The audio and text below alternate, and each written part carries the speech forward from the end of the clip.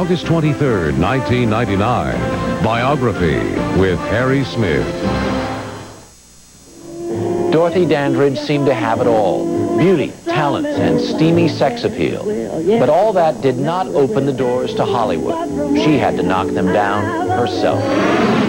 She performed in hotels where she was not allowed to spend the night. And she turned down stereotypical black roles.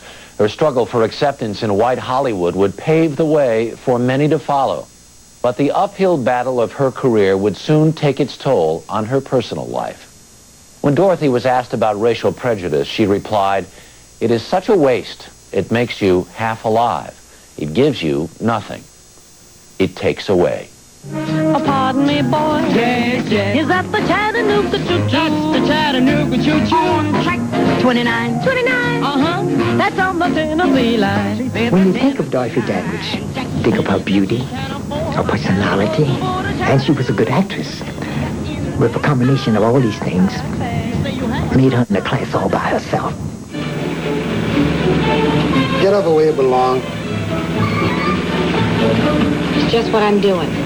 I heard about Dorothy when I was 19 years old. I heard about Carmen Jones, and I wanted to know who this woman was and how could she be so beautiful and be so talented, and I didn't know who she was. One didn't know Dorothy. Off that screen, she was sort of like smoke. She was Hollywood's first African-American dramatic female movie star. She was a powerful force on the stage and screen, whose talent and international appeal garnered her unprecedented popularity and even a Best Actress Oscar nomination. But although she was beautiful and sophisticated, Dorothy Dandridge was a study in contradictions. Plagued with self-doubt and bent on self-destruction, hers was a turbulent and tragic life. She should be the most successful movie star in the world. But she was a black woman at uh, the wrong time.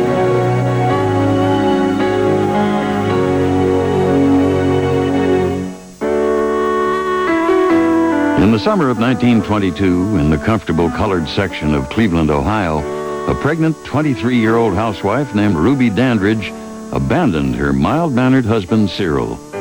Ruby Dandridge was very outgoing, very ambitious, very aggressive woman. And Cyril Dandridge was basically a quiet man, rather introverted, uh, easygoing. And the two of them, for some reason, they hit it off and they, they married, but it was not a happy marriage. Taking their 15-month-old daughter, Vivian, Ruby secretly settled in a nearby but poor neighborhood. And on November 9th, 1922, Dorothy Jean Dandridge was born at Cleveland City Hospital. Over the next few months, Ruby moved frequently within the black community to avoid Cyril, who was determined to locate his daughters. Dorothy missed a father relationship. Her mother would tell her terrible things about the father. She said that the father didn't want them, that he had kicked them out of the house, and that uh, he was partial to his mother. Ruby soon found employment as a maid and devoted her free time to her real passion, becoming an entertainer. She found an audience at her local church where she sang and recited poetry for the congregation. By the time Dorothy was four, she and her six-year-old sister Vivian were also performing at Sunday services. Ruby struck up an intense friendship with the talented musician Geneva Williams and invited her to move in with her and her daughters. It was a sexual relationship between Ruby and Neva. Neither one ever, I don't believe, used the word lesbian. I don't. I just don't think they did. Um, I think that by the, I think as little girls they noticed a lot between the two women. Ruby took on the role of breadwinner, and Neva was given full charge of the children's daily regime of singing, dancing, and acrobatic lessons, as well as their discipline. The two of them would, would talk at night, and, and one would say, you know, well, we, you know, we didn't get a spanking today, and the other would say, the day's not over. Under Neva's skillful coaching, within a year, Dorothy and Vivian were touring the South, billed as the Wonder Children. And soon they were earning enough money to support the entire family. Dorothy's beauty and beguiling manner made her a particular crowd pleaser. But life on the road was hard on the girls, and Dorothy began to develop a fear of live performances. Her lack of proper education only added to her growing anxiety and insecurity. Dorothy didn't stay in school long enough because she worked and would interrupt her schooling. She fooled everybody. She couldn't read for a long time. She memorized everything. When the stock market crash of 1929 ushered in the Great Depression, black communities across America were hit hard, and the Wonder Children were forced into early retirement. But for Ruby Dandridge, it was simply a minor setback. In 1929, William Fox Studios released Hearts in Dixie, the first Hollywood musical film to feature an all-black cast. And Ruby was convinced that there would be more work for talented black performers.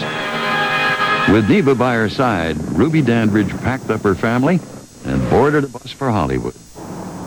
They got to Los Angeles, this land of sunshine and the place where America's mass dreams were merchandised, and, and got into um, movie circles and, and learned the ropes. When landing a movie role for the girls was not as easy as they had hoped, Ruby and Neva teamed Dorothy and Vivian with a young neighbor, Etta Jones, whom they had met at a dance class. The trio was billed as the Dandridge Sisters, and their melodic three-part harmony and youthful exuberance got them noticed. By 1935, the Dandridge sisters were singing and dancing in films such as the big broadcast of 1936 with Bill Bojangles Robinson, A Day at the Races with the Marx Brothers, and in It Can't Last Forever with the Jackson Brothers. Once again, Dorothy was a standout.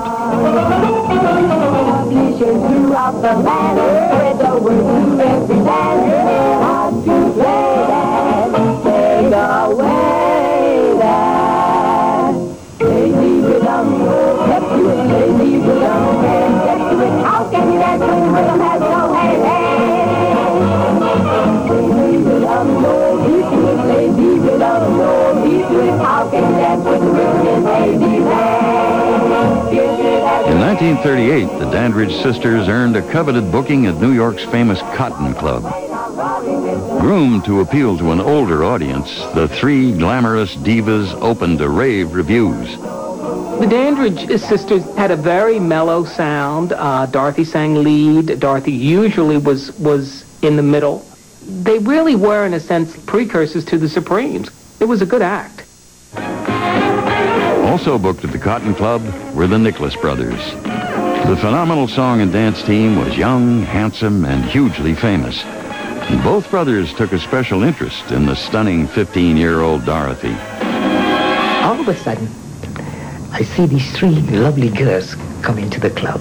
And my brother and I looked at each other and said, did you see what I see? I said, yes, I do. I said, they were all lovely. But my brother and I had our eyes on Dorothy Dandridge. She was beautiful, just beautiful. We used to go out a lot and get, well, not too much because she was restricted a little bit. We had a thing for each other, I must say, right from the beginning. Harold Nicholas was only 17 and already a show business veteran as well as a notorious ladies' man when he and Dorothy met. But Dorothy had little time for romance, as her 12 years of hard work were now paying off. In May of 1939, the Dandridge sisters, with Neva as their chaperone, sailed to London for an engagement at the famous Palladium, and they dazzled a sophisticated European audience. But by now, Dorothy was becoming worn down by the stress of live performances as well as by Neva's overbearingly harsh rules, which included taping down the 16-year-old's breasts to conceal her now shapely figure. Neva felt threatened by Dorothy's burgeoning sexuality, and she became obsessed with the matter of Dorothy's virginity. Dorothy had come home and Neva was suspicious and wanted to examine her. It really was the equivalent of, of, of a rape. Geneva threw her down on the bed, and Dottie got up and gave her a good punch. She knocked her on the floor at one point, and that finished the physical abuse. Finally standing up for herself and declaring her independence from the woman who had been her mother's live-in lover, Dorothy was empowered for the first time in her life. Upon returning to the United States, the blossoming teenager decided it was time to go solo, not just as a singer, but as an actress. In 1940, she won a role in the highly successful Los Angeles stage production of Meet the People. It was basically a white show, a white revue, and very forward-looking.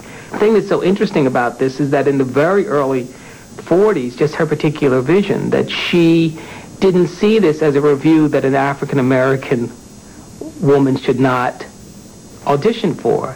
It really was knocking down a barrier. Dorothy's budding acting career effectively dissolved the Dandridge sisters trio. But Ruby and Neva were content as long as she continued to financially support the family.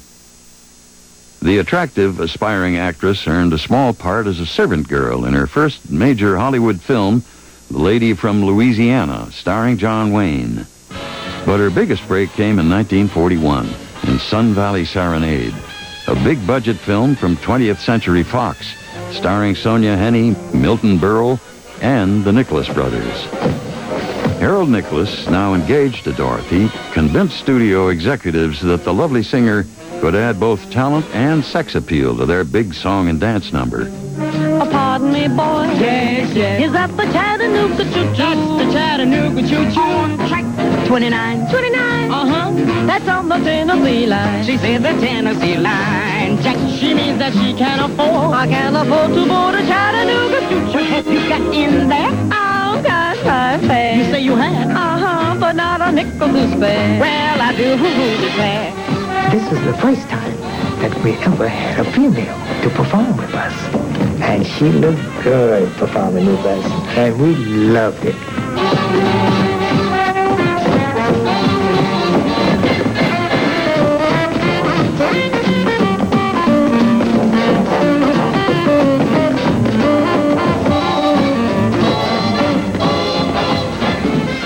By the tender age of 18, it seemed as if all Dorothy Dandridge's dreams were about to come true.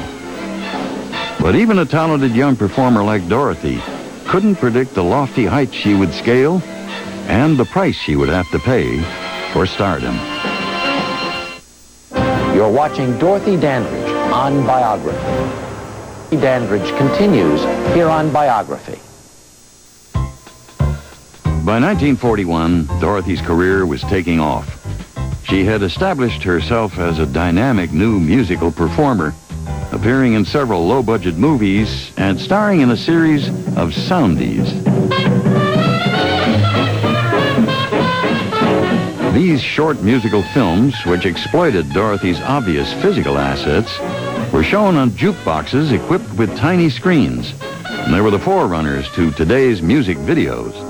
Singing his cowboy song. He's just too much. He's got a knocked out western accent with a Harlem touch. He was raised on local meat. He's what you call a swing half-breed. Singing his cow-cow boogie in the strangest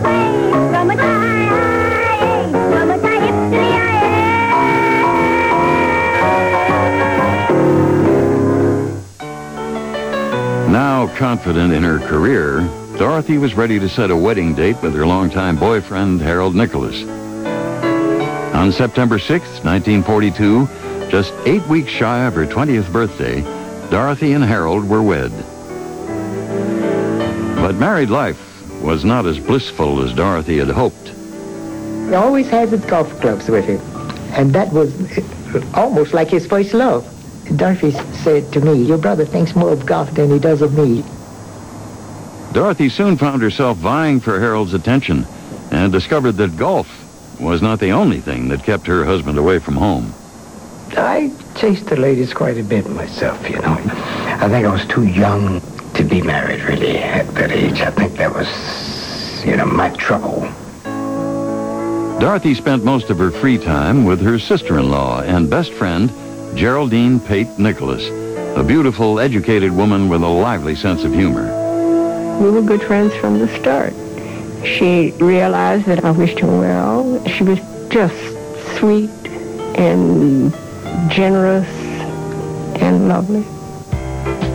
In 1942, the up-and-coming actress won minor roles in such films as Lucky Jordan, Drums of the Congo, and Hit Parade of 1943.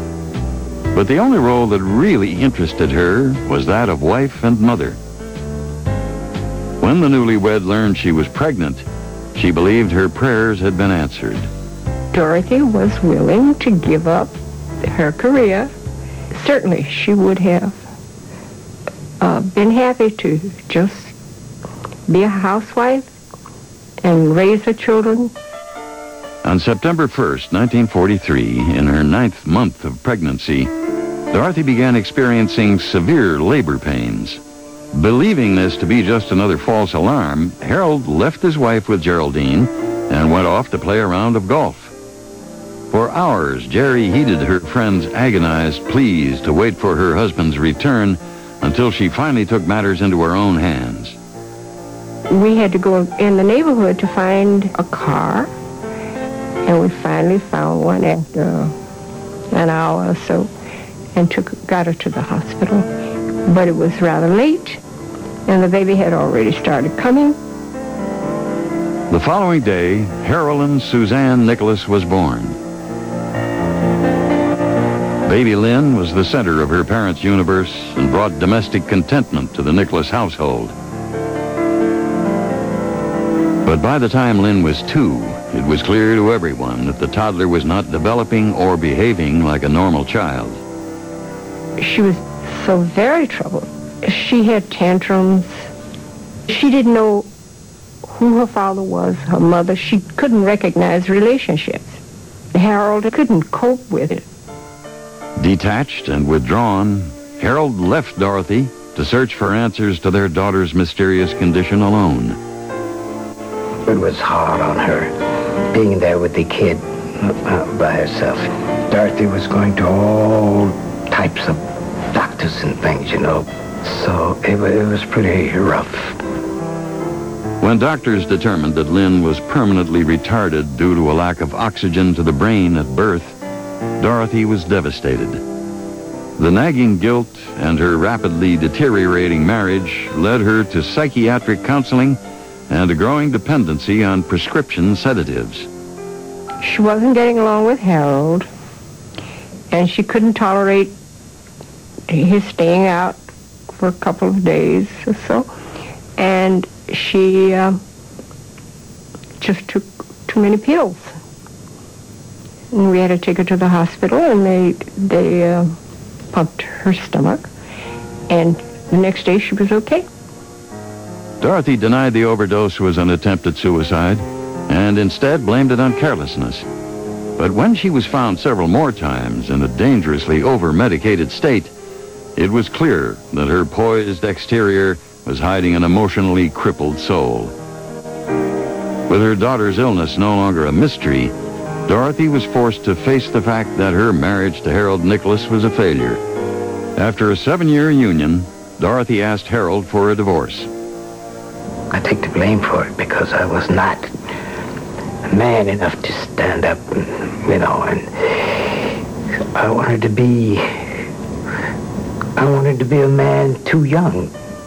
The financing of Lynn's care became her mother's total responsibility. The six-year-old needed round-the-clock supervision, and Dorothy had no choice but to find a full-time caregiver for Lynn to live with. Such a necessity was expensive, so Dorothy concentrated on advancing her career.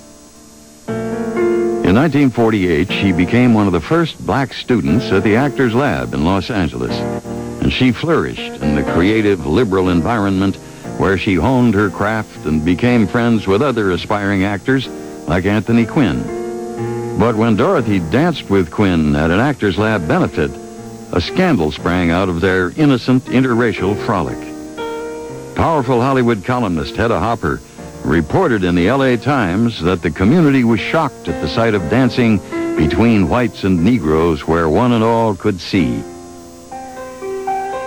Disgusted and defiant, Dorothy's response to the racial slur was printed in the California Eagle The 25-year-old was applauded by civil-minded blacks in Hollywood and emerged a symbol of dignity and humanity.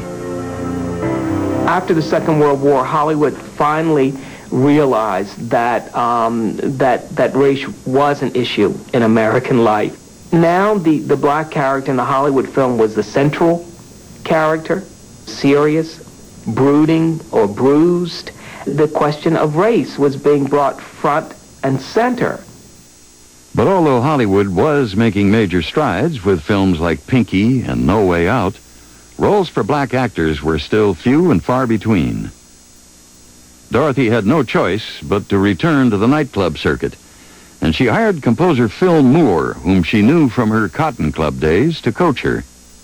He helped her create this act. He arranged and composed for her, and he went over with her almost every detail, from makeup to hairstyle to what she wore. He liked her in what he called these snaky dresses, very clinging, form-fitting dresses. He liked seeing himself as her Svengali. Phil Moore transformed Dorothy Dandridge from a fresh-faced beauty into a sensuous chanteuse. Before long, the two became lovers and began sharing a pleasant domestic life. But despite sold-out appearances and rave reviews, Dorothy was once again suffering from paralyzing stage fright, and she desperately wanted a return to the screen. In 1950, the 28-year-old actress accepted a role as an African queen in Tarzan's Peril opposite Lex Barker. When the Hollywood Censorship Bureau voiced loud objections to the film's blatant sexuality, Dorothy got noticed. The resulting publicity landed her on the April 1951 cover of Ebony magazine. She also graced the pages of all white publications, including Look and Life.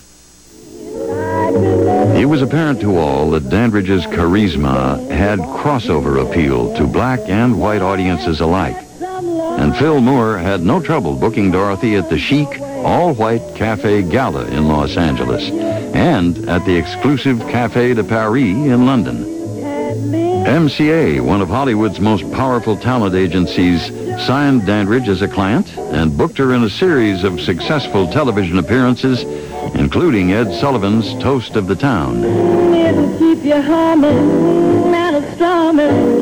It'll keep you humming and a strumming like yes it will, yes it will, I know it will. But from where I was looking, turn up the heat and start some get, get you some love and if some loving comes your way. And if you find somebody you just want. Dorothy Dandridge was reaching heights no other African American actress had reached before.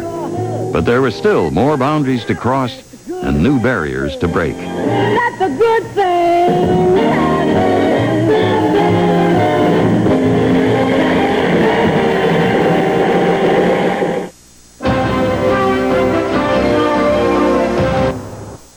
Here I stand again, about to beat the band again, feeling grand again. In 1952, Dorothy Dandridge's celebrated club act led to her first starring role in a major Hollywood film, directed by Louis B. Mayer's nephew, Gerald Mayer. But there is another Dorothy Dandridge you haven't seen until now. A wonderful, emotional actress. I'm Dorothy Dandridge. I play the role of the teacher. This was my first day, and I wasn't sure how it was all going to work out. MGM cast the 30-year-old in Bright Road, opposite handsome newcomer Harry Belafonte. The film featured a predominantly all-black cast, and Dorothy portrayed a small-town school teacher reaching out to a troubled student. She was absolutely beautiful in a, such a classy way. She was perfect. She came prepared. She never blew up under any circumstances. She dealt well with the crew, with the kids in the class, with the director. Dorothy was entranced by the gentle, well-educated director. Not only did she earn his respect, she also won his affection. There was an engaging quality to her. She was easy to talk to. It was uh, a relationship which I will always remember because it was it was really quite wonderful. But although Bright Road opened to a weak box office, Dorothy was at the top of her game as an entertainer and was headlining at the Last Frontier Hotel in Las Vegas. In the 1950s, Las Vegas was a segregated town, and black performers were barred from residing in the hotels or using public elevators and dining rooms. Vegas was a very interesting situation there for any black performer.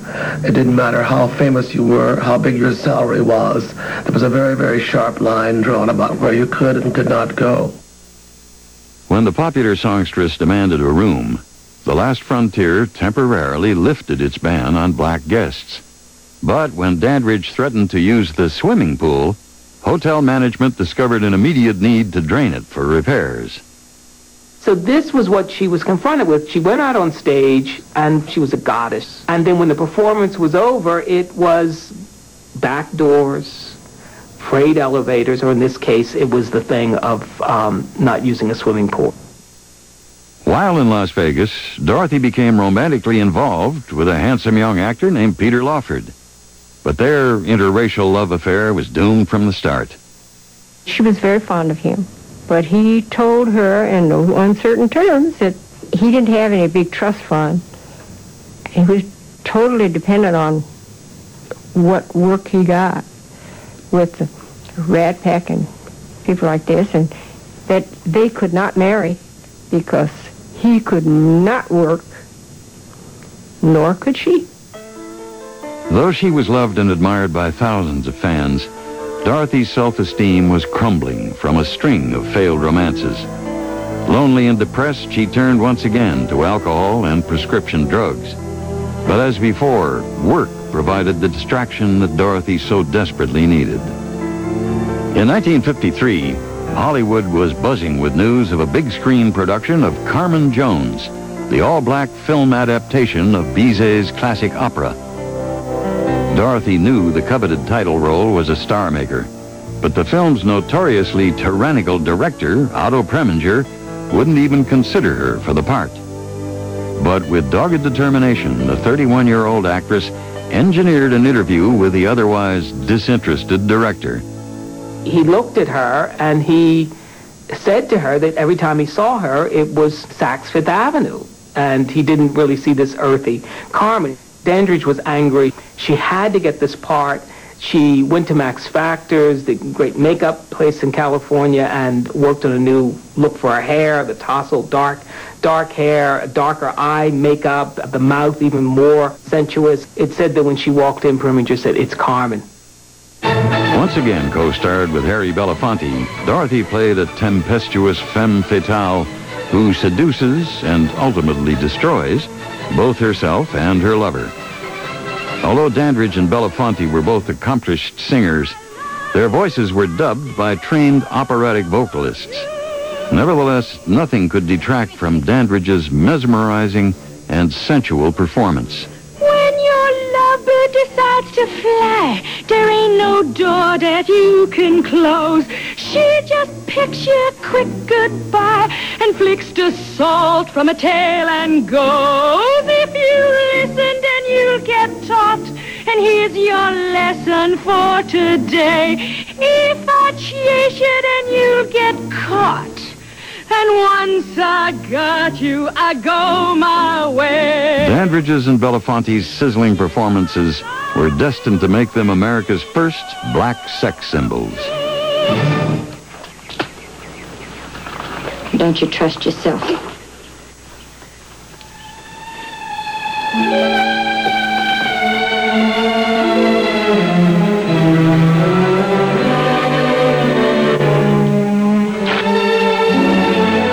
Also featured in the cast were Pearl Bailey and fresh-faced newcomer Diahann Carroll. I met Dorothy Dandridge during Carmen Jones. I sat there, I watched her. I watched her find her art in front of the camera. And that's quite a privileged position, I, I believe. Why don't you tell me?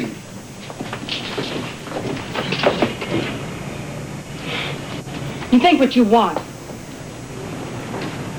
That don't account to no man. You're counting to me. I love you. That gives me That'll the give right you to... no right to own me. There's only one that does. That's me. myself. Carmen Jones opened on October 28, 1954, and was a smashing critical and financial success. Dorothy Dandridge became a bona fide movie star overnight, and her unforgettable performance earned her the distinction of being the first black woman to grace the cover of Life magazine. Yet nothing would compare to the pride she felt when she learned of her nomination for an Academy Award for Best Actress, making her the first African American to be nominated for a leading role. At the Academy Awards ceremony on March 30th, 1955, Dorothy shared the Best Actress nomination with such luminaries as Grace Kelly, Judy Garland, Jane Wyman, and Audrey Hepburn. But although the Oscar went to Grace Kelly for her role in The Country Girl, to her fans, Dorothy was a winner and a permanent part of American history. I never thought about whether she'd win or not. I would have loved it had she won because I, I she, her work was quite extraordinary.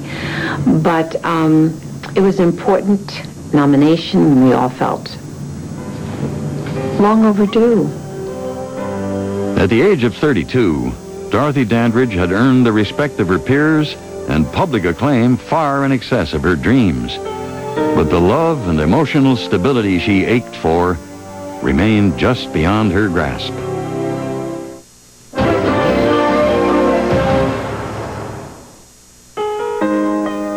In 1955, Dorothy's Academy Award nomination catapulted her to a new level of celebrity, and her exclusive engagements were now earning her up to $3,500 a week in clubs like the Empire Room in New York's Waldorf Astoria Hotel. Dorothy was also in the midst of an intense love affair with Carmen Jones director Otto Preminger. Although Preminger was separated from his wife, he was still a legally married man. But Dorothy hoped that this time things would work out in her favor. He was wonderful to her. He was controlling. He took over her life for a time, insisted that she only wear beige and white. They'd go to Europe together. He felt freer in Europe. He was afraid of his position in, in the film industry. He would have had trouble with uh, any out-and-out relationship. The dictatorial Preminger insisted Dorothy accept only starring roles, forcing her to turn down offer after offer until eventually her phone stopped ringing. At 33, Dorothy was disenchanted and depressed and knew she had to face the fact that Otto would never divorce and marry her. After a two-year affair, she abruptly ended the relationship. By 1956, it had been nearly three years since Dorothy had had any significant film work. Desperate, she accepted a supporting role in Island in the Sun, an interracial love story starring Harry Belafonte and Joan Fontaine. Dorothy played a local shop clerk opposite John Justin, and the two shared a full-fledged on-screen love affair. How long will it take you to pack? But I... Two hours. I don't have very much either. There's a plane leaves for England on Friday. I'll send a car for you. All right. You don't seem very surprised. But I'll go into England together. Where you go, I go. The movie was, was fraught with, with compromises, the script. I mean, they didn't want the actor to say that he loved her. You know I'm in love with you, don't you?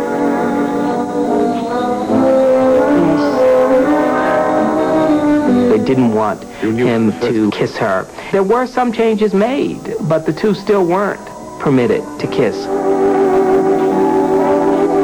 But despite the controversy, Island in the Sun was a smash hit. Dorothy next starred in Tamango opposite Kurt Jurgens. The film's underlying story of interracial romance carried over into a real-life affair between the two stars. Once again, Dorothy sought validation through a relationship with an older white man. And as she had done so many times before, she chose to ignore the fact that her lover was married. Dorothy reached out to find love and acceptance in all the wrong places. She never was fulfilled and never really valued herself and never valued her life. In 1958, Samuel Goldwyn was producing a big-budget film of Porgy and Bess. But many in the black community felt that even Gershwin's music couldn't overshadow the movie's negative stereotyping that they had fought so hard to overcome. Dorothy, who had not had a starring role in the four years since Carmen Jones, signed on to play Bess for $75,000. Part of our community thought that she was selling out. It's just a shame that Hollywood created this beautiful, glamorous, talented movie star, but then didn't know what to do with her. It was already a tense set when the film's director was fired and replaced with Dorothy's rejected lover, Otto Preminger. He was a great director, but he was simply brutal. And Dorothy was this delicate beauty, and she was delicate in temperament.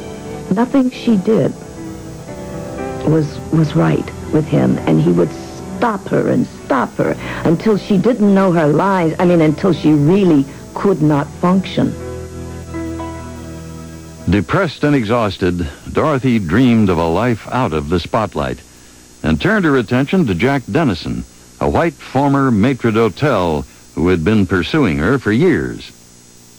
He looked like a Greek god, and she worshipped beauty. I didn't like Mr. Dennison, didn't like what he was about. He was a very cruel person, and uh, she was a masochist. Pure and simple. Against the advice of her friends, Dorothy married Jack on June 22, 1959. But any illusions the actress had about retiring were quickly shattered on her honeymoon night.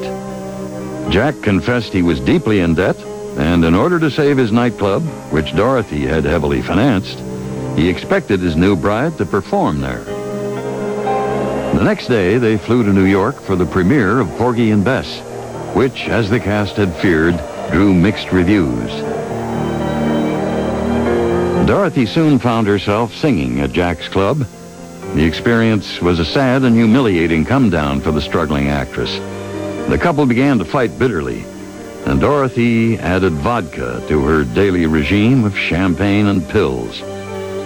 Dennison just seems to have been a mistake from the very beginning. The man physically abused her, and a man who appears to have been totally insensitive to her, and a man who really sent her into financial ruin. After a tumultuous three-year marriage, Dorothy filed for divorce on grounds of extreme cruelty. Now 40, Dandridge found herself alone, in debt, and behind on her mortgage. She was once again in a downward emotional spiral, and the effects of drugs and alcohol loosened her already tenuous grip on reality. On April 24th, 1963, a humiliated Dorothy Dandridge was caught by photographers when she appeared in bankruptcy court. I could have saved her foreclosure just like that. No problem. But we knew that she was going to be foreclosed on maybe two hours before. You can't do anything then. But what troubled the actress most was that she could no longer afford her daughter's expensive, full-time private care. Lynn was now a 19-year-old woman with the mental capacity of a child, and Dorothy's inability to care for her forced her to make Lynn a ward of the state of California. Dorothy Dandridge, once a symbol of hope and achievement for millions of African Americans, had lost practically everything she ever worked for, and she was about to face her darkest hour alone. You're watching Dorothy Dandridge on Biography. You're watching Biography here on A&E. Now 41, Dorothy Dandridge was broke and living in a rented apartment in West Hollywood. With little work to keep her busy and a crippling dependency on alcohol, prescription drugs, and antidepressants, Dandridge was spending her days depressed and in seclusion, and her nights on the phone with old friends Jerry Nicholas Branton, Pearl Bailey, and Abby Mann.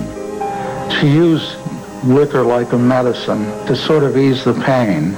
She was very disturbed at times about her daughter who was retarded. She accepted it intellectually, but she never accepted it emotionally, I know. And she always felt a great deal of guilt about it. That was a tragedy. She was a young woman who had demons. I think she was very much manic depressive. And today, that's very treatable. Back then, it was taboo. You were crazy. You, you'd be put in some institution somewhere. And I think she struggled with that along with a real sense of self-hatred.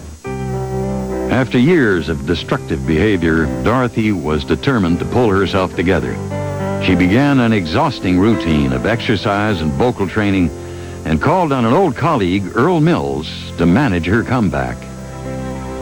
By 1965, it appeared that Dandridge was finally conquering her demons. She got an advance to write her autobiography, signed a two-picture deal with an independent production company, and gave a hit concert in Albuquerque, New Mexico, the first of three bookings arranged by Mills. Things were looking up, and Dorothy seemed excited about an upcoming engagement at New York's Basin Street East. Dorothy asked Mills to delay picking her up for the airport so she could get some rest. But Mills became anxious when Dorothy failed to answer any of his subsequent phone calls.